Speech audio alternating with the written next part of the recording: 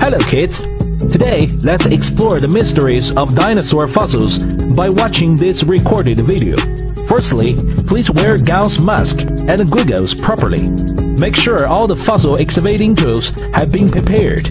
Use artificial fiber sponge to apply where we're going to make excavating with water.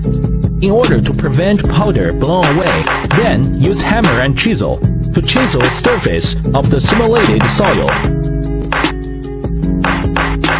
Clean powder in the surface of a fossil with brush.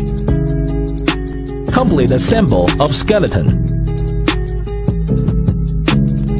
which has been dug out from the fossils. Dinosaur fossils are any dinosaurs preserved remains which the soft tissue decayed and disappeared. Bone and other hardware tissue deposited in the sediment for tens of millions of years or even hundred millions of years.